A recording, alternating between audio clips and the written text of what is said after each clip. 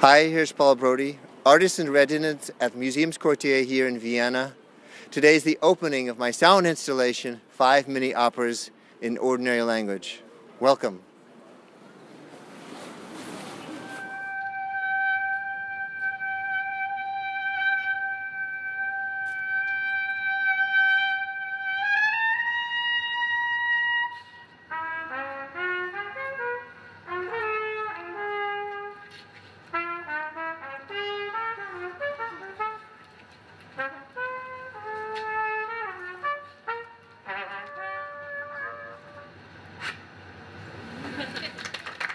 Thank you for coming.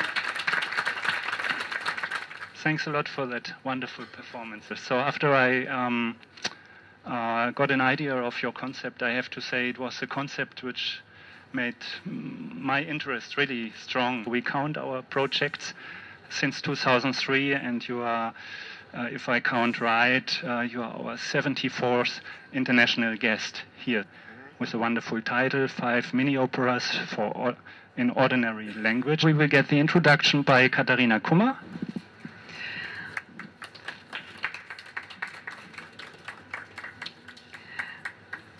Also, ich freue mich, dass Paul und ich uns wieder getroffen haben. Wir kennen uns schon lange.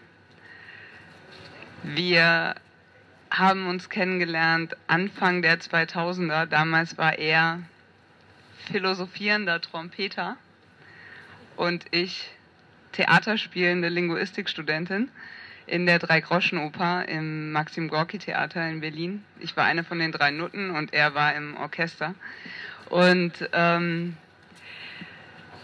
das war eine Zeit, als man gewissermaßen noch sich entschied dafür oder sich irgendwie bekannte zu einer Profession oder einem Genre oder irgendeiner Art von Beruf. Und er war Trompeter. Also in einem früheren Leben war Paul Trompeter. Jetzt ist er Soundphilosoph, würde ich sagen. Und das, was er hier macht mit den fünf Mini-Opern, die Sie dann hören werden, ist, er befreit die Stimme aus der Sklaverei der Bedeutung der Worte.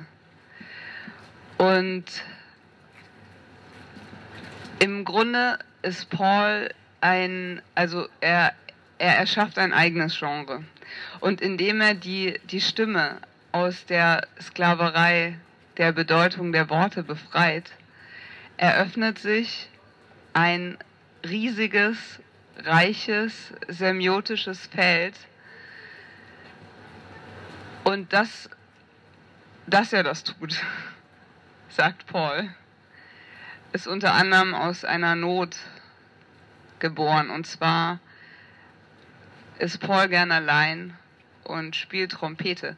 Und man muss sich manchmal in diesem Leben unterhalten mit Menschen. Und wenn Paul in die Verlegenheit kommt, sich mit Menschen unterhalten zu müssen, dann hat er einen Ausweg. Und zwar, er hört weniger auf die Bedeutung dessen, was sein Gegenüber sagt, sondern er lauscht der Stimme und komponiert aus, was die Melodie der Stimme erzählt.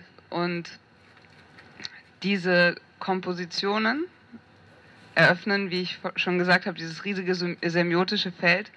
Und in diesem, in diesem Feld ist ein Reichtum vorhanden, der, würde man nur auf die Bedeutung der Worte achten, überhaupt gar nicht sichtbar wäre. Und dieser Reichtum ist so opulent, dass er an das große Orchester herankommt, das für eine Oper vonnöten wäre.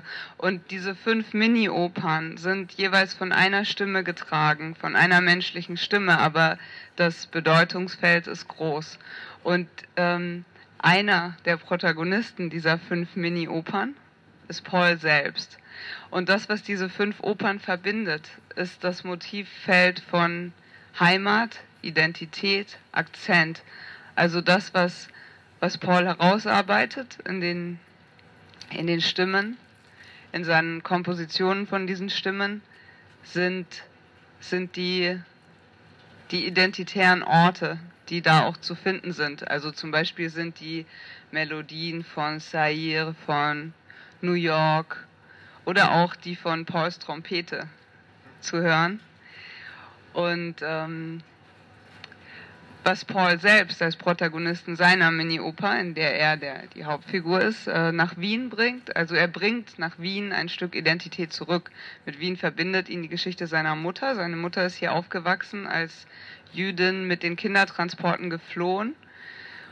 Im 13. Bezirk äh, lebte sie und ähm, ja, was Paul eben macht, selbst in seiner Mini-Oper, ist, ähm, er bringt ein Stück jüdische Identität. Äh, ich fange an im, im, Jüdischen Museum in Berlin, da war Paul und hat ähm, diese Gegenstände gesehen und sagte zu der Kuratorin, jüdische Tradition hat mit Gegenständen wenig zu, zu tun, jüdische Tradition hat zu tun mit Geschichten, mit Zuhören, mit Melodien, mit Ablauschen und Weitertragen.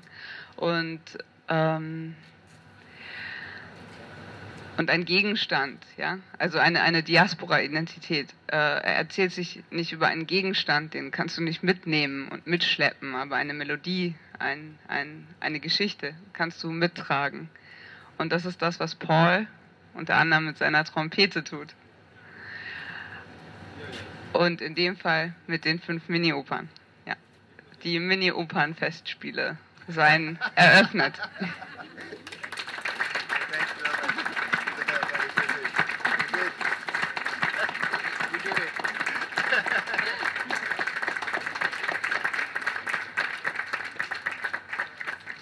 So, also damit Sie nichts verpassen, gehen Sie in die Passage, es geht augenblicklich los. Gleich ist was zu hören.